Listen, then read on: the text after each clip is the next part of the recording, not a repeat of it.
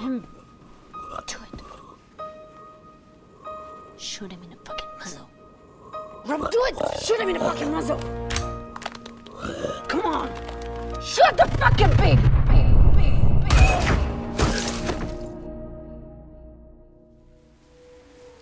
I remember how it all started.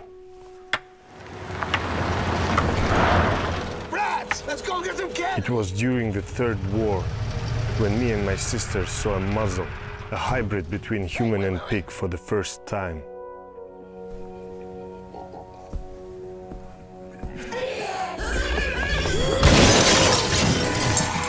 This creature attacked my father. The militaries came, but not for help.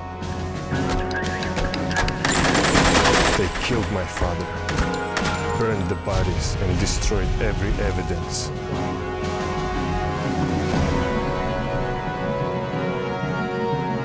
Soon muzzles occupied top of the food chain, destroyed our cities, farming us like animals. We are endangered species fighting for survival.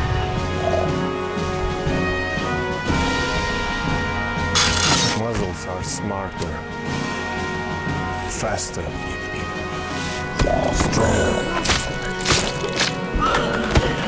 and always hungry.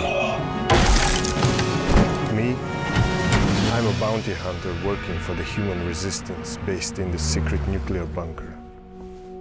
You must get into the farm and kill the mother. This is not my war, Ludmila. It's not about you. It's about humanity. My father told me that, God is a human mistake. but I think humanity is a God's mistake.